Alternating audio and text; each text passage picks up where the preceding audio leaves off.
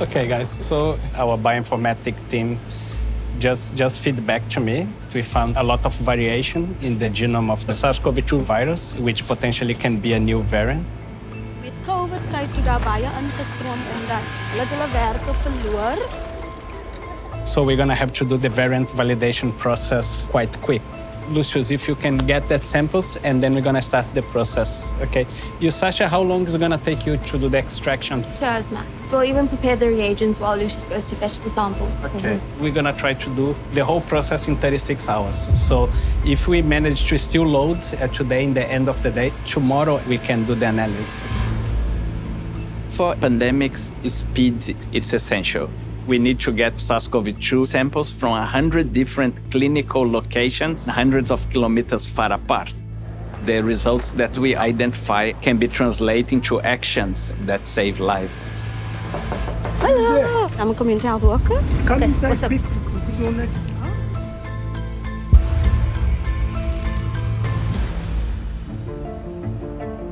You've heard about the outbreak that's happened in the community, the disease of COVID. We're hoping to find a rate where we can curb it. Would you be okay if we did a test on you?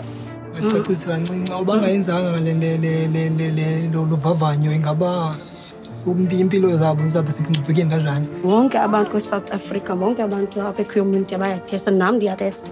You mustn't be afraid. Test is simple you know Simple There's and easy as this. It's not painful. Can can I go in? yes please I'm very happy to hear that. Viruses are constantly changing. They're always evolving. And we have to be actively involved in understanding how they're changing, what's driving it, and what's the consequence of that. Are they more transmissible? Do they make people sicker? Do the diagnostic tests to identify them still work? Just five swabs in one nose, five in the other, and then it's all done.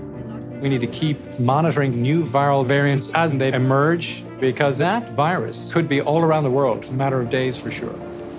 If you are negative, you are good to go. nice thanks Everyone in the world have seen the speed of this pandemic. How you can go from very little infections to a high number of infections until hospitals can get overwhelmed very quick. You see what's happening is this an outbreak in the community. If you can prepare to respond before the outbreak, you can avoid large epidemics and large pandemics. The first line of defense is a diagnostic test. Oops, sorry, sorry, sorry. It enables the public health community to identify those who have been exposed, who are infected, and quarantine them so they don't infect anybody else. Hello. We are out here doing COVID testing. So you're willing to have yourself tested? For me, I'm not interested. Hello, good day. As you can see, we've been here in the taxi rank. We are doing some tests. As long as it's not hurting, I don't have a problem. No hurt, no pain, no blood. Are you okay doing the test, ma? It won't hurt you. It's so important that we work together as a global community to avoid the next pandemic. That's why our lab in South Africa is part of the Abbott Pandemic Defense Coalition.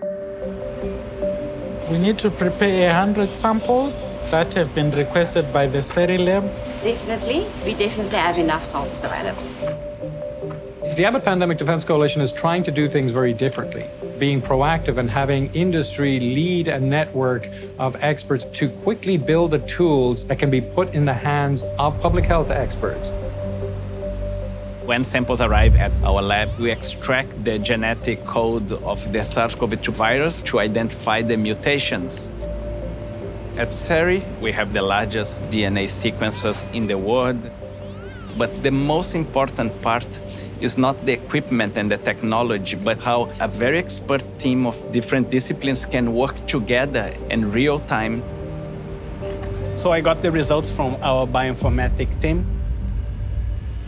It is not a new variant, uh, so I think that we can relax a little bit. The ones that we are suspicious, in reality, they were recombinants between Delta and Omicron. What it means is not something that's likely to cause a big wave of infections. And let's hope we don't have another alarm next week.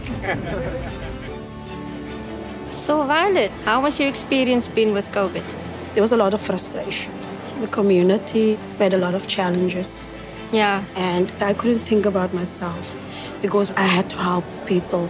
And I have small kids, so when I looked at my kids, I said, I'm gonna fight. I'm a fighter and I'm gonna be purpose driven, and that's why I do the work that I do in my community.